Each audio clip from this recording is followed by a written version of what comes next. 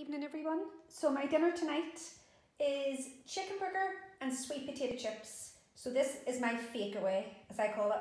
So yeah, I'm having sweet potato chips. I'm having a burger. So the bap or the bun, whatever you want to call it, I'm using a wholemeal one just to make it healthier.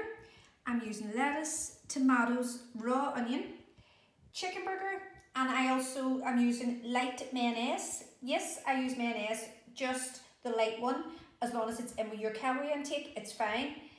And this meal tonight comes to 566 calories. So that's actually good calories for your dinner and you're getting something really nice and it feels like you're having like a takeaway as well. So I am gonna dig into this. I'm gonna zoom in. I'll let you see my burger. How nice does that look?